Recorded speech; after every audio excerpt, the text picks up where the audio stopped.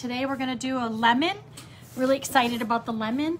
I've got my paints here. I will turn the screen so that you can see what I have down here. Uh, here are the my watercolors, paper, brush. I've got two things of uh, water, a dirty one and a clean one. And I always have a uh, paper towel so that I can either dry the brush off a little bit with the paper towel.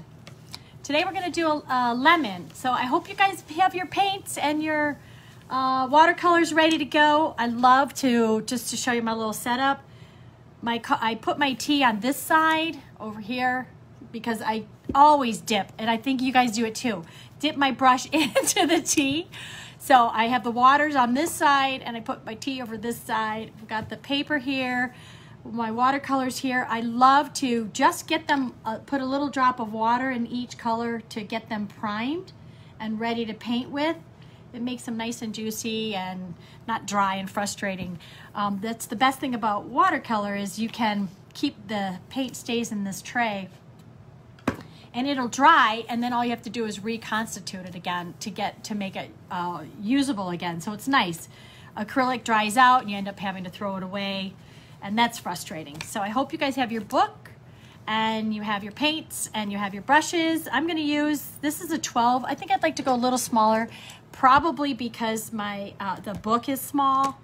Um, if I were in a bigger book, I'd like to paint really big, so I use bigger brushes. Do you guys do that too? Give me a thumbs up if, if you have your stuff and you're ready to go.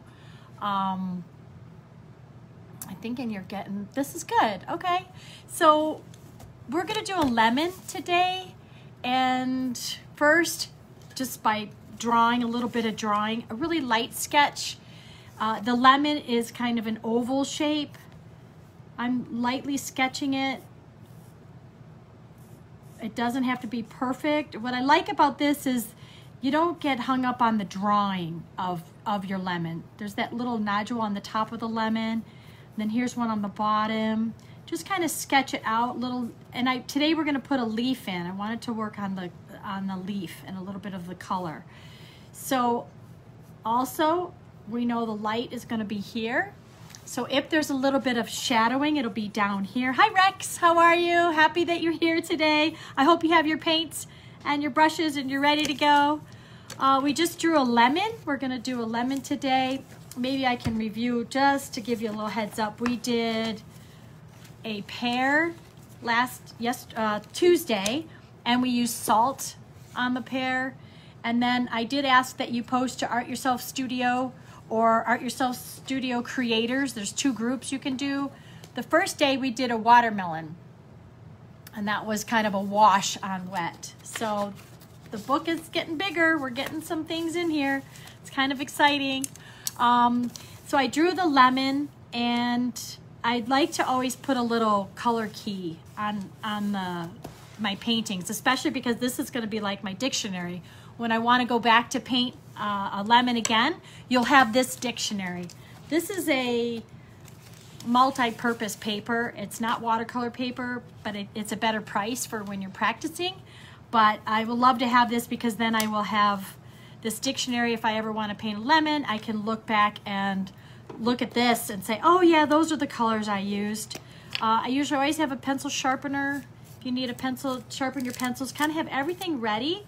Your glass, your cup of coffee or your tea, two things of water, one for dirty, one for clean, paper towel. Um, sometimes I'll write the, yellow, the color down. This one we're going to use cadmium yellow. So I'm going to write that down, cadmium yellow. And cadmium yellow is just a warmer yellow. It has a little bit of uh, orange in it, so it, it's a warm yellow. And then the other green we're gonna use is the, it's a yellow green. Um, but if it calls for a sap, you would just add a little bit of blue to it and it can, it, it'll turn a little bit of sappy. So we just drew, just draw an oval, doesn't have to be perfect. The sun is coming from here. We're gonna put a leaf in these little nodules, they also get treated with the sun highlight in here. Let's say we're gonna put a little highlight down here like this, and then the dark side will be here and the shadow will be here. So this is where I'm gonna paint, and I'll start with the, um, I'll start with a little bit of that cadmium yellow. And I'm just gonna do a really light wash watercolor is all about layers and a lot of people get uh, frustrated. We were talking in my uh, watercolor class. I have an advanced one uh, session three at 10 in the morning and then i just had one at one for my session two. We did pansies. They were a little tricky today weren't they heather?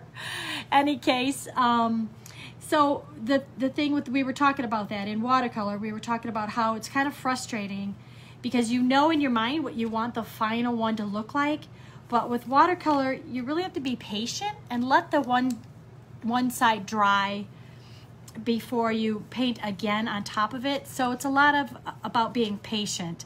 I usually um, have two things going at one time. If I'm doing like a puppy portrait, I'm gonna soap up this little bit here with the paper towel because I do want to leave some of that white.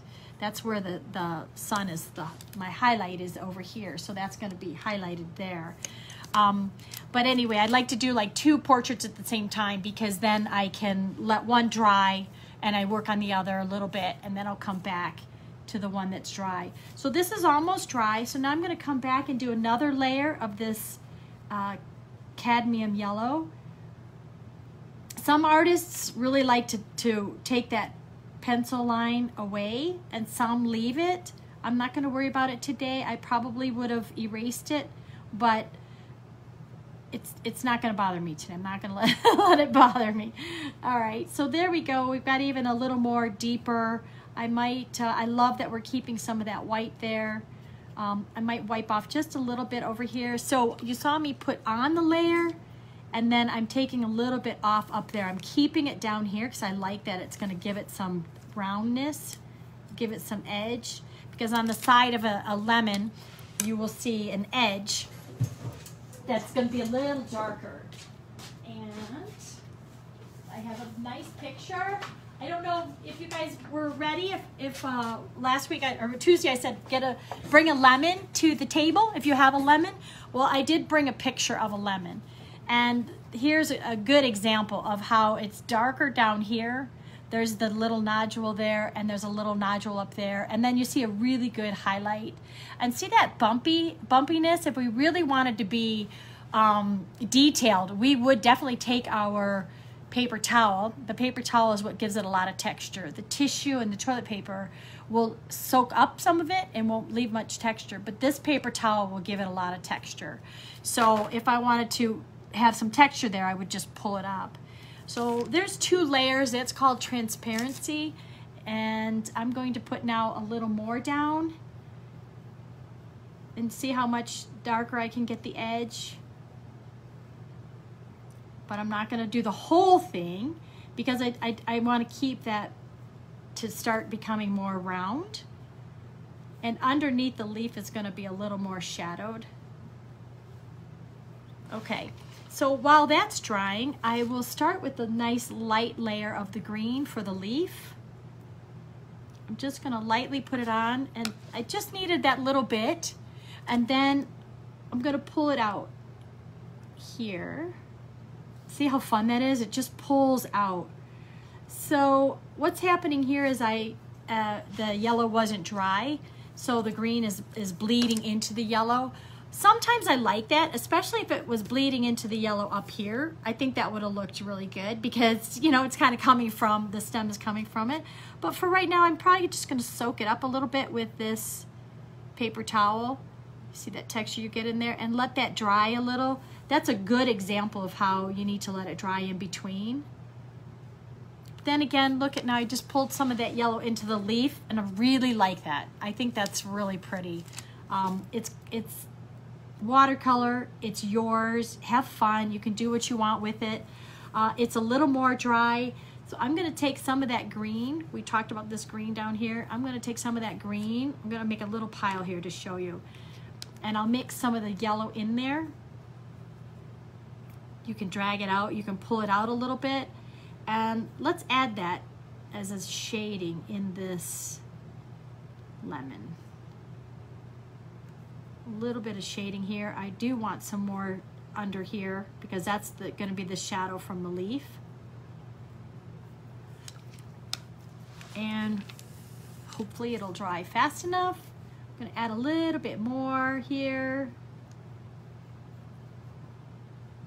Lemons are fun to paint. I think they're just fun. They're pretty, the colors are pretty. They've got a lot of texture in there.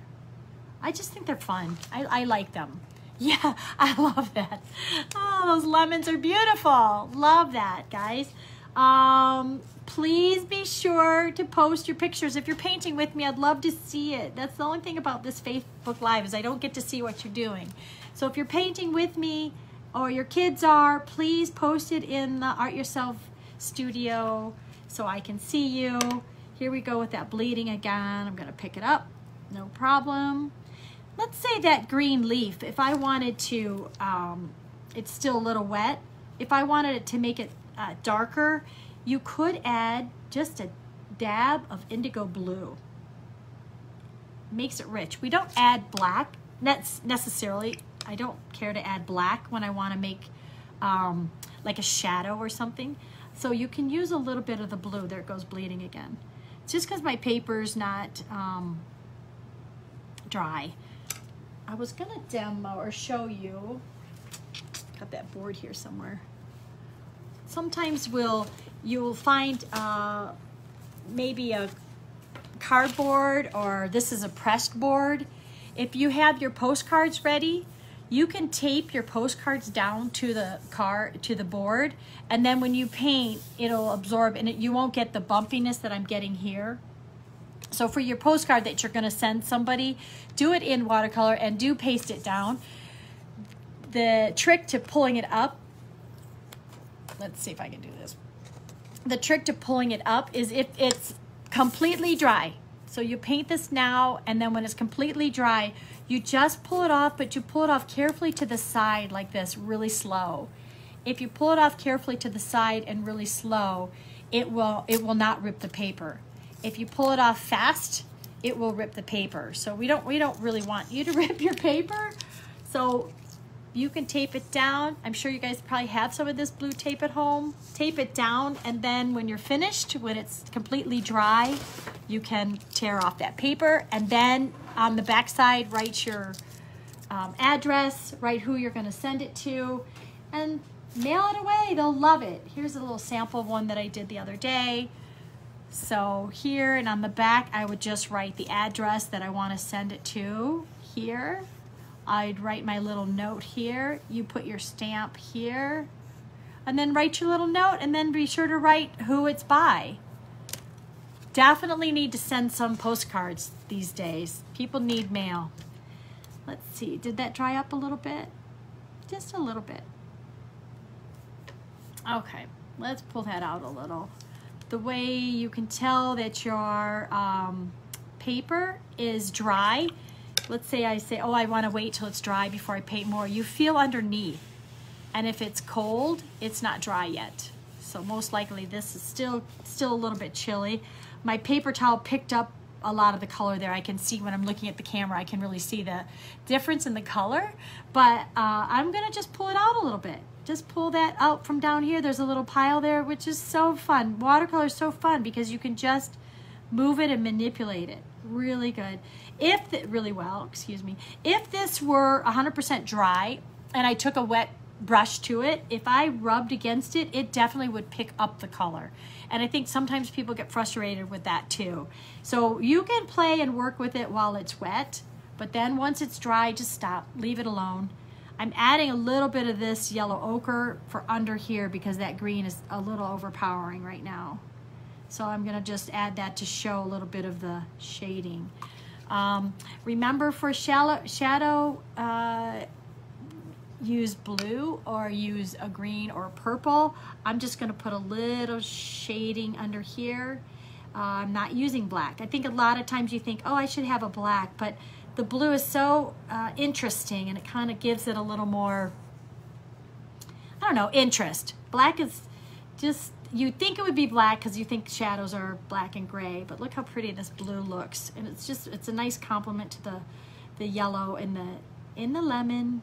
Yeah, So that's gonna be my shadow. The light is over here. You can see there's light on there.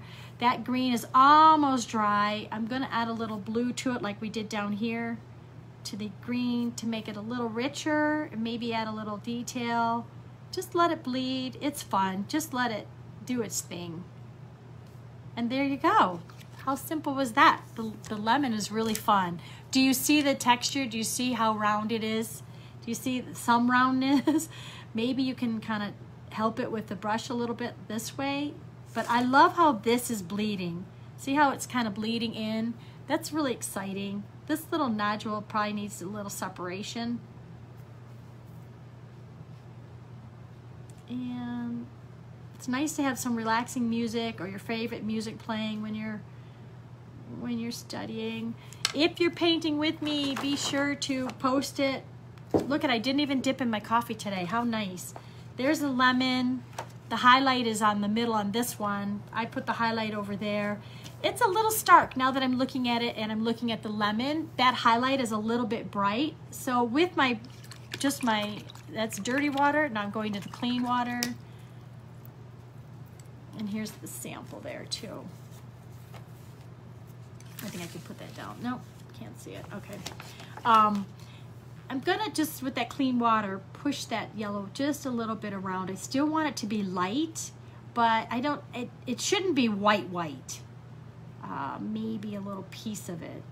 But like when I do the puppy portraits, when I do their eyes, I like to do just a little splash of white because I feel like that's the light that the the light that's shining, you know, from the light in the room or whatever on the on the eye. But for here, sometimes when it's on the watercolor on your paper, it's just a little bit too stark to leave that there. There we go. What do you guys think? That was kind of fast. Now I'm looking at the time. What time is it? I don't I don't think that took very long at all. It's 3:16. I was hoping that we'd have a full half hour painting. Is there anything you guys want to do or you want to see? Um, I didn't really have a plan for next time. Tuesday, it's going to be Easter. You'll have Easter weekend. Um, we did the pear. How about a kiwi? How about if we paint the kiwi? We'll do a kiwi next. One thing on your paper, make sure you date it and let's see today's date which I know but um, it's four I did it to my last paper. What time what day is it today you guys? Anybody know? April where are we? I just can't even believe I can't. April 9th is it the 7th 8th 9th it's the 9th okay. 4 9 20 there you go. You can tell this is impromptu because how do I not know the date? Okay, how's that for a lemon? Do we like that? Look at what a nice little card it makes. Take your watercolor paper, cut it in fours, and then just paint one on a watercolor paper and send it off to somebody somebody who needs to hear from you. Thank you, Jackie. April 9th, thank you. Um, I definitely drew a blank on that one. This live stuff is kind of fun. It's new for me. I wish I could see you. I'm so much easier talking to people. Um, it does help to look at your painting. Sometimes when you are painting and you're not sure how it looks, there is um, this little, uh, it's like a red card. It it's kind of takes out color. And if you put it up to your eye and put it over your painting, you can see, okay, that might be too close, but you can see where your color needs some variety. You need some light and you need some dark. There, it works better with the green on this particular color. But do you see where there's a nice shading, there's a nice circle, the leaf looks like it's showing, it's, it's got a nice uh, light, medium, and dark. So when you're doing watercolor, you need, you definitely need the three values, the light, medium, and dark. Um, if you don't have one of these cool little gizmos, which is on my website, all my materials are listed on the website um, under classes and then under materials used. For every class that I teach here in the studio, I, I list the materials because sometimes I'm using something you might want to see what it is. Um, I put it all in there. Um, but if you don't have that handy dandy little uh, red paper or the green, you can take a picture of your project. You take a picture of it and you can put it in black and white mode and that would that would help or you can um, sometimes I like to take a picture of it and then reverse it, like flip it, so that it kind of puts you automatically into the other side of your brain. And then that kind of helps you to see actually what you're painting. Because when you're looking straight at it, you kind of know what it's supposed to look like and you know what it is. But when you're painting it, it's just a little bit, um, yeah, it's kind of nice to get it out of your, what you know and into your other side of the brain. I think it's, somebody told me once, I thought it was kind of cute, is like when you're driving in the car and you are just going along, tooling along, kids are in the back screaming, jumping around, having fun, you're kind of in associative mode. You're just associating. You know what you're doing. You're just driving because you're comfortable. But then when you, um, then when it starts raining and it pours down rain, then you get in cognitive mode and you're like yelling at the kids, okay, you guys, be quiet. I need to concentrate. I've got to see what I'm doing. You're in cognitive mode. So what, what we'd like you to do is just get to the other side of the brain, get out of your conscious, get out of what you know, and just see the colors move and flow. Kind of relax, kind of associate what you're comfortable with. Don't need to, to recognize or concentrate.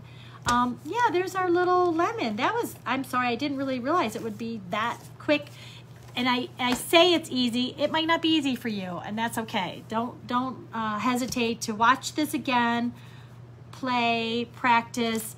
Don't be frustrated. Please don't be frustrated if it's not easy. It's it's not supposed to be. I, I, I um I don't want to downplay that too much. I think I'm gonna put a little stem in here. I'm kind of having fun. I want to add a little little stem that's gonna come outside of that tip I love how the watercolor bleeds in. Love how this watercolor bleeds. It's really fun. Yeah, we're going to do a kiwi next week, which will have skin on it, which would be kind of fun, the fuzziness. Yet last Tuesday we did the the pear and then the first and, and I did write down art yourself studio creators if you want to add your picture that you're painting today so I get to see you I would love that I I wish I could see you right now um, and then our first day was this watermelon. And to be honest, I think if I wanted to, you could always go back when it's dry. Uh, I would go back and maybe outline, and I'm using a black and a little purple mix, but I might outline these seeds to make them a little more prominent. Hopefully you're, you've been doing this along with me, so you'll have your little book too. And if you wanted to, you could go back and see I'm just kind of um, filling it in. I'm not putting a lot of water and scooping it up because I don't want to pick up the water. I don't want to pick up the color. I'm just trying to add. Can you see that little bit of bleed there from the red that was on the first one? Oh, I loved that. That was, I love that bleeding. That's, that's what people just fall in love with watercolor. A lot of people think it's really hard and are afraid to do it uh, because I think you're used to doing something and seeing it and painting it exactly as is. But with watercolor, you just need to be a little more patient, kind of visualize it, take your time, let it dry in between, and then you can do your uh, uh, more defined details after. Like, like right now, see, for example, this we did last week when I first put the seeds in, they bled because my paper wasn't dry. But now I can go through and just do a little more refining and putting a little more detail in. Um, it's fun. Then you can get your detail and it's not so scary. We lost, totally lost that rind. There we go. Might add that rind in there. This was a wet on wet technique. That was wet on wet. This was wet on dry. This one was salt. I try to write down like some details and I try to write down the date. I don't think I wrote, oh yeah, I did write salt here. So I did a light wash, we did layers, and then we did salt. And there's our lemon. We did a little drawing. And then we did the, we did, uh, actually we did layers. We did a layer, layer technique. And we talked about um, definition. And we talked about shading. So please let me know if you did it. Let me know. Thank you for your feedback. Thank I love what you guys have to say. Thank you. I am able to read it today because I videoed my I've got my camera up and I videoed the the um, computer. So I can see you. I can see you're here. Thank you so much for being here today. We're going to do a Kiwi on um, Tuesday.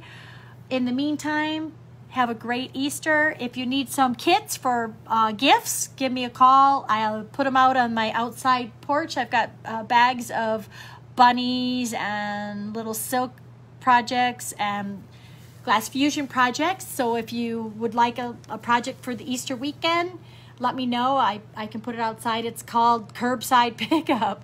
Um, I'm, I'm definitely practicing not um, social distance and I think I would respect you all to do the same. So if you want some kits or any artwork that you want to do, please let me know. I'm happy to. Uh, it, it's definitely on my website, artyourselfstudio.com. You can look on there and see the different kits.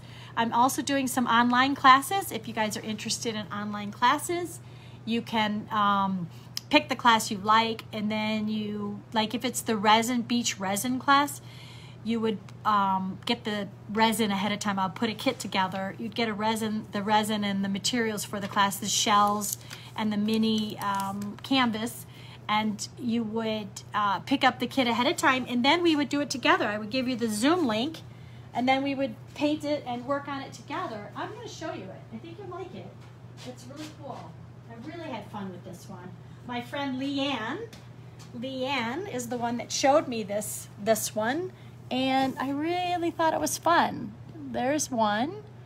It's really cool. It's resin, and they're like mini canvases, so you can see the resin pours down. Here's one, and then here's the other. What do you guys think? You see how you do the green and or the blue for the water, and then the sand, and then I have little shells. Isn't that pretty? Yeah. So let me know if there's something I can do for you. I appreciate you coming today. Thank you so much for being here. Um, and again, we're gonna do the kiwi, which has like the furry outside and then the nice pretty green inside. Um, okay guys, Mwah, thank you. Again, DM me or send the picture, show me what you painted. I'd love to see it. Have a great weekend and I'll see you Tuesday.